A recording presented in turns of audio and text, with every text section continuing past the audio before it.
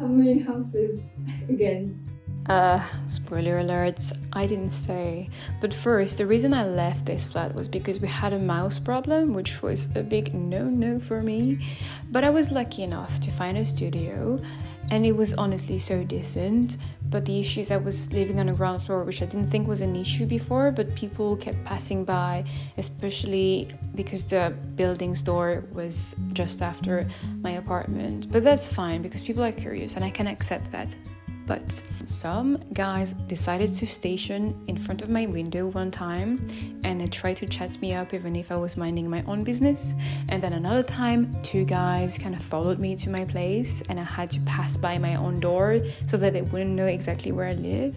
And another time, or a couple other times, I had a neighbor who kept coming to my door. I don't know if I felt inviting, but I really didn't want him to be there. So I had to leave. But uh, I did have really good memories there. I spent the lockdown, but I still decided not to buy a lot of furniture because I knew that I was going to leave and there was no point for me to organize stuff around a flat I was eventually gonna leave. That said, it was situated in Stratford and I was only paying £820 per month without the bills. And let me tell you, that is a steal. And when I compare it to my previous flat, I was paying £200 less to live with someone else. So for me, it was a real bargain. But at the end of the day, what is a bargain if I don't even feel good? I want to furnish my flat right now, but I might actually move out again next year. I'm here. By the way, this is so far into the future. It's like a year and a half after. But let's start from the beginning, shall we? I saw this flat two months before I was supposed to actually move in, and it actually came back on the market just before I was about to move in. There was like an issue that happened in the two months periods I had seen it that prevented anyone from moving in here and then it was available for me. And the funny thing is that my apartment, the studio you just see, the same kind of thing happened. And I'm like, the things that are meant for me are meant for me. like, but anyway, I before that I had seen a couple of apartments, and the first one was 20 minutes from East Finchley Station. It was facing west in the living room and east in the bedroom, and it was 1100 pounds per month without the bills. The thing is, the day I actually wanted to make an offer, it was the day someone had made an offer literally just before me. And the same happened with the next flat, which was in Maida Hill, and I felt in absolute love with the neighborhood. The flat, not that much, if I'm being honest, but the neighborhood would have made up for it. And it was on the first floor, it was very central, and same again, 11,000 a month and I used the Sims like I always do to figure out the layouts and see how I could fit the furniture I had an eye on. You know what, since I'm here, I might as well show you the Sims rendition of this flat, of the idea that I had for here. Well, this is a spoiler alert. I hadn't realized. Oops. Literally, any flat I have been in, I have used The Sims to help me figure out how to furnish it. And it's been a tremendous help. Anyway, here's the Sims. So you have the entrance here and then you go into the bathroom. Nothing really changed, but I like to put it on the Sims anyway. But then what changed the most was the living room and the layout that I have made is the layout that I kept at the end. Some things didn't work, so I had to change my mind about it or improvise or whatever. But that's pretty much the idea of how my flat ended up. And look at me, spoiler alerts, the couch, uh, anyway, so many adventures happened and I'm just gonna let you enjoy it from the beginning.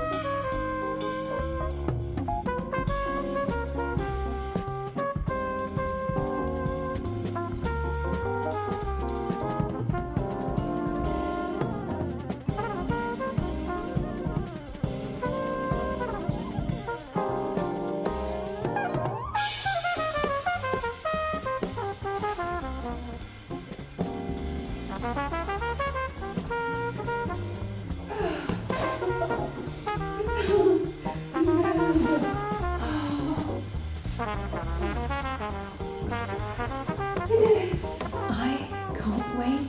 I'm just so excited.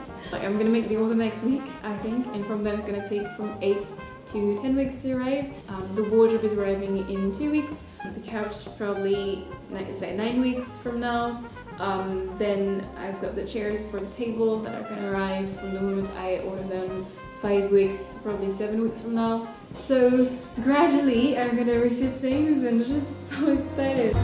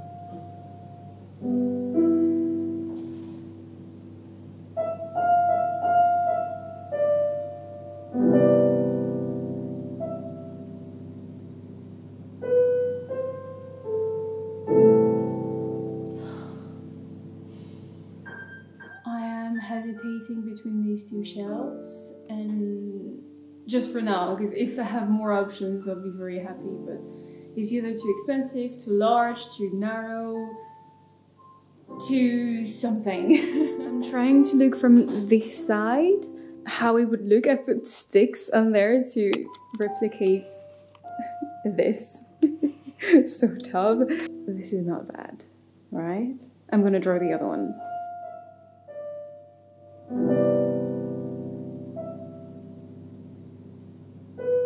I don't know.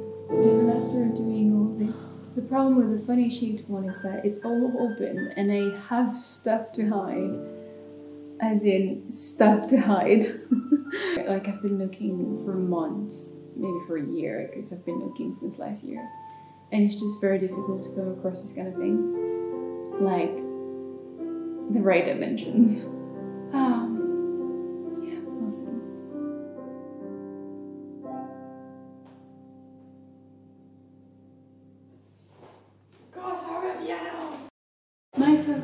Today, and as you can see, this is narrow. It's just passing. With a bit of, I don't know, wiggle at the exactly right angle, it's gonna work out. We'll see, we'll see, because I don't have any other choice. I am so disappointed. My couch is soaked. I've got pictures. That's the other one. So it took that long to arrive. And now I guess we have to start over the process. Explain and explain your com- complaint to us. Okay. I will raise a claim with uh, Hay. Yeah, true, true, true. Okay, I'm gonna do that and then we'll talk um, by email.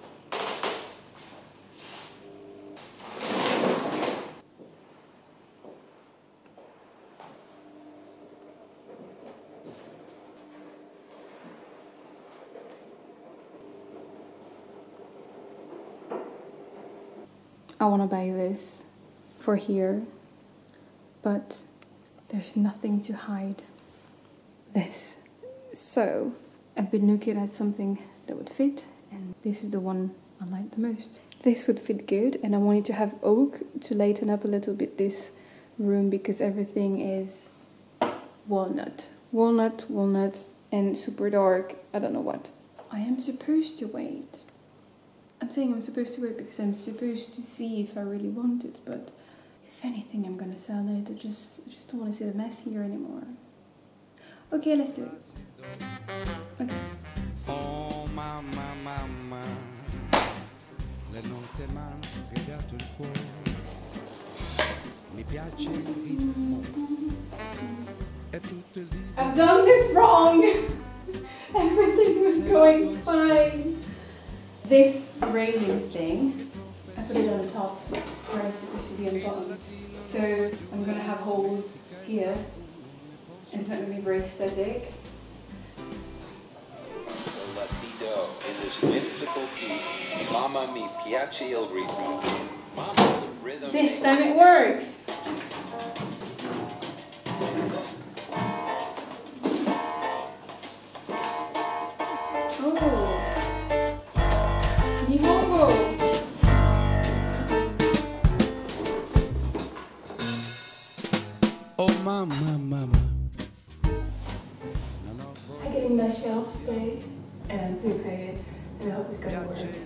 Ritmo e tutto il dì vorrei cantare.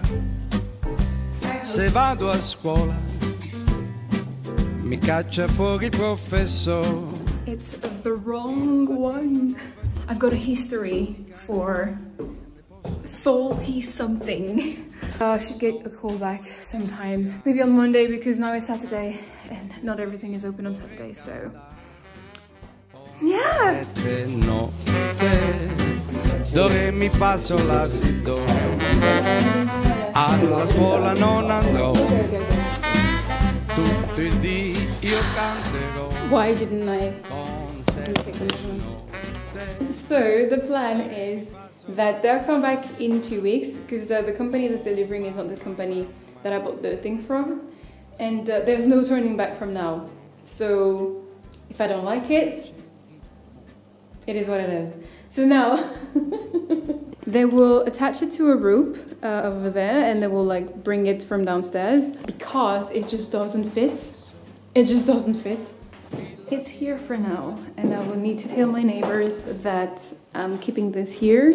I know it's a lot of negatives, but the one good thing about this is that I now have a contact.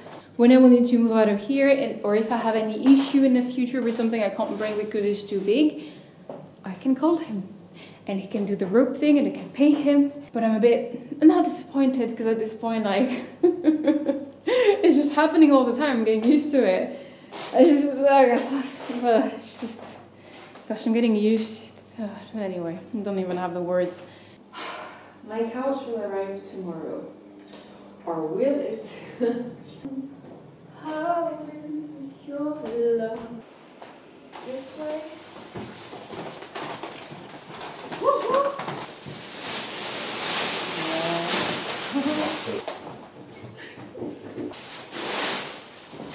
Thank you so much. like the struggle, the struggle is real. The struggle is real, but the end is near. I have another thing, the shelves, and then we'll settle. Hmm. I'm worried. Yeah.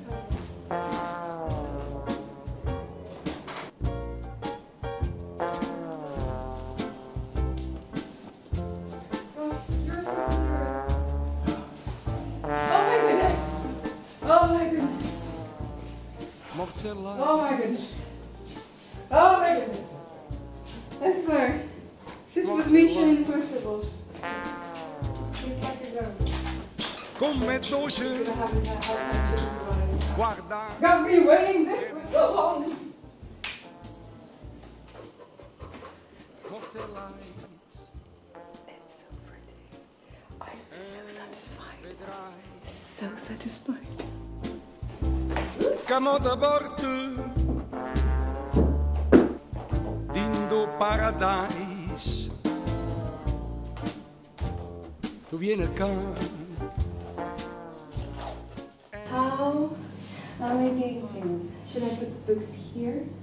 What books? What size? Should I put the big files? Put the big files down? Questions, questions.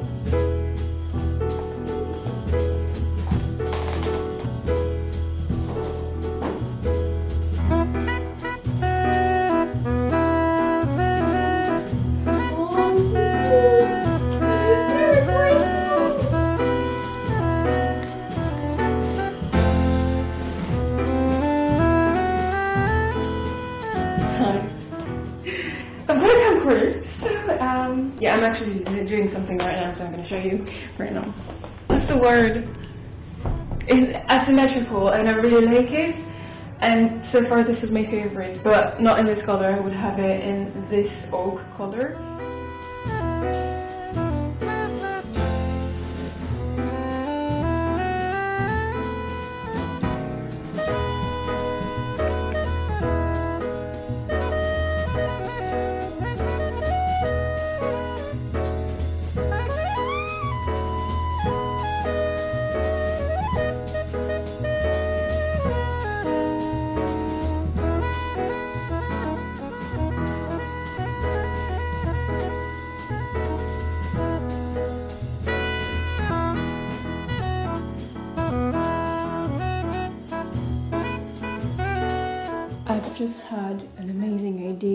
Never really liked this light, but there's nothing I can do about it. But I just had the idea to use a paper lampshade and put it on top. Let's see if my idea will work. No, I've got to add the wire. Ah! Shoot. It's safe, I think.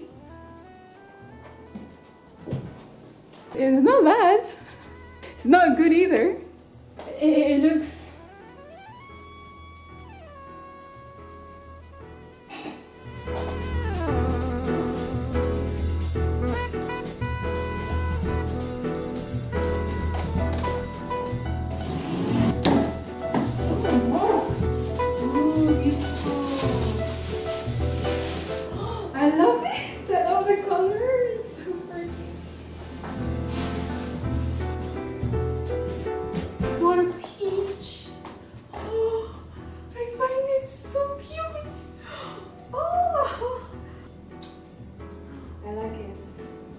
It's so soft and subtle. I do like this tonight, so you'll see it in a second.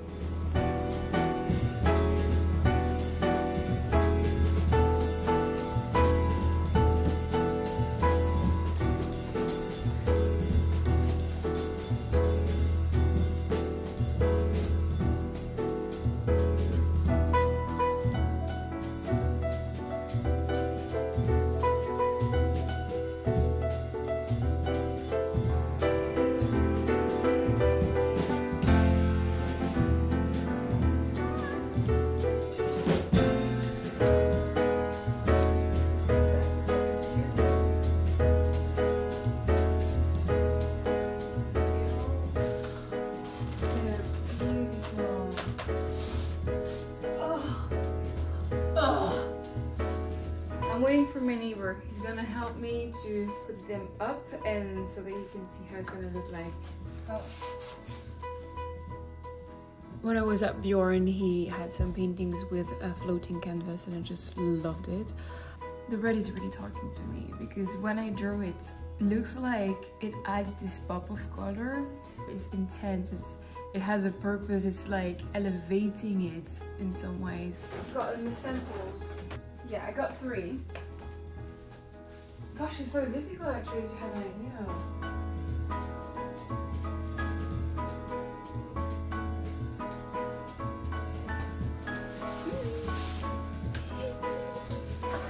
Right, let's check the first painting how it would look like before I put everything on. Oh, this is good. The images are perfect. The dim white shoulder is working. Do you remember the tape we put on the wall? Someone removed it. Or the heat, it was too hot for it and he... Anyway.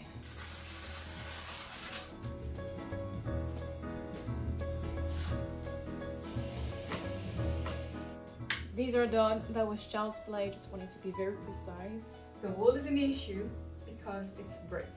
And last time I wanted to pierce through brick, it literally required all my energy. Like, I'm not exaggerating.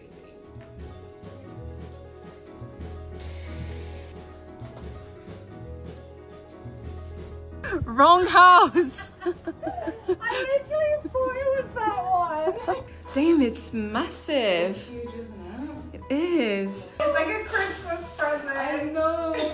Oh, it looks like it was meant to be. oh, this is so lucky. Okay, so the tea is I'm living. So, so it's gonna be that for a minute.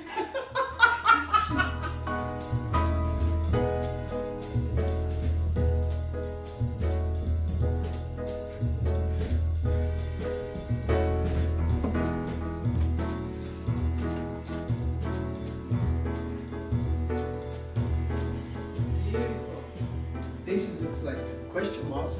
Okay. This is, looks like an African continent. I don't even have the time right now because I have a flight to catch, but I'm just so happy. Look, it's on the wall. It's on the wall.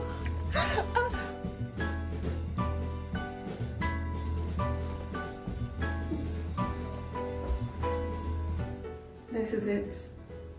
This is the end. I'm so grateful. I've been spending so much time making this my home and choosing everything according to my style and my preferences. I- I'm so grateful I was given this opportunity before going full nomadic, going to New York. Um, I don't know if I'm staying there. I might be going to Paris, come back to London, Barcelona, whatever. But I want to be flexible for my job uh, because I want to grow and I want to get my career booming. So I've got to make the sacrifice of not having a home for a while and moving a lot. I'm going to enjoy every last moment in this apartment as it's getting more and more empty. But uh, I've got this video to show me when it was full, at least the next one, because yeah, I'm not going to film the tour now because I feel this video is too long, so it's to be in a separate video, but I'm, you're going to see it pretty soon because I'm already working on it and it's not to take long to finish it. But yeah, I will have this video to look back at the whole process of it coming together to this point and the tour, the finished product of how much I could do because there are still stuff missing like this wall could have had some art and I was supposed to have a plant under um, the faces painting but I'm moving. I'm not gonna buy new things now. I am fulfilled in a way. And if you went to this point of the video well thank you for being that interested in my journey. I'm just so grateful. That's it